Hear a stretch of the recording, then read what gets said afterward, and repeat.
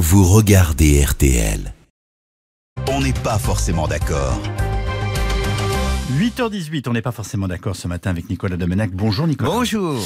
Alors tous à Versailles, selon vos informations, et vous êtes toujours bien informé Nicolas, le président de la République va réunir à nouveau le Parlement, Assemblée nationale et Sénat en congrès. hein. Ce sera le lundi 9 juillet. Il tient ainsi son engagement de l'an dernier. Cette promesse-là, Emmanuel Macron va la respecter. En effet, il l'avait solennellement exprimé devant le Parlement, réuni en congrès à Versailles le 3 juillet 2017, assurant que tous les ans, il reviendrait devant ses élus pour leur rendre compte. Ceci afin d'éviter les erreurs de ses prédécesseurs qui, affirmait-il, n'avaient pas assuré la pédagogie de leur action, ni exposé le sens et le cap de leur mandat.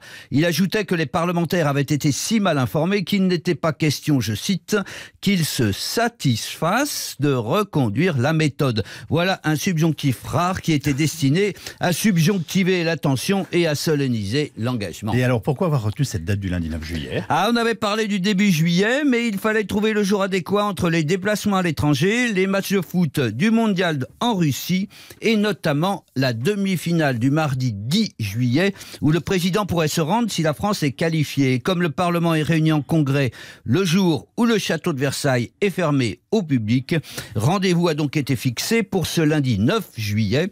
Les ministres et responsables de la majorité ont déjà été priés de ne pas encombrer l'actualité pour permettre au discours présidentiel d'obtenir un écho maximum. Car, vous vous en doutez, Emmanuel Macron ne fait pas ce royal déplacement pour visiter le hameau de la reine. Je vous parle de la reine Marie-Antoinette, Oui. pas de notre nouvelle Altesse royale Brigitte M, qui n'élève pas de moutons mérinos. Alors ce discours présidentiel va donc devenir une forme de rituel annuel? Oui, certains diront que c'est encore une contamination de l'Amérique où le président prononce chaque année à Washington un discours dit sur l'état de l'Union devant les deux chambres réunies en congrès. D'autres affirmeront que c'est une preuve de modernité puisque les Français ont toujours plus besoin de transparence et de communication. C'est à eux en effet, que le chef de l'État compte s'adresser à travers les parlementaires. Il devrait se montrer moins lyrique que lors de son premier prêche et tenter de prouver que la vie quotidienne a changé, que la marche vers la troisième voie se trouve en marchant sur les deux jambes,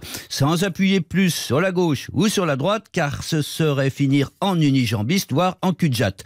Bien sûr, il accrochera son char de la transformation efficace aux étoiles de l'Europe qu'il faut faire briller avant l'élection européenne contre tous ceux qui la conchient, comme il dit, et prônent l'obscurantisme, le repli et la peur. Il faut retrouver le sel et le souffle de l'espérance, et certains entendent déjà la nuit notre souffleur national s'entraîner à l'Élysée.